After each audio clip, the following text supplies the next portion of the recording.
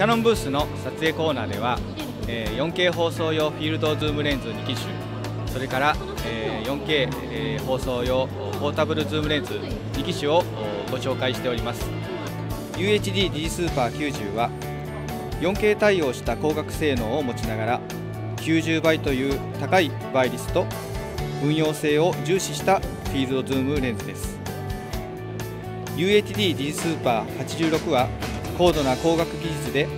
4K 制作に求められる高い光学性能を持ったフィールドズームレンズです。4K 放送用ポータブルズームレンズの CJ12 倍は焦点距離 4.3mm からの広い絵が撮れるワイドポータブルズームレンズです。周辺まで歪みの少ない 4K 映像を撮ることができます。4K 放送用ポータブルズームレンズ CJ20 倍こちらのレンズは20倍の倍率を持つポータブルズームレンズです。高い 4K 光学性能を有しつつ重さ 2.18kg の軽量化を実現しています。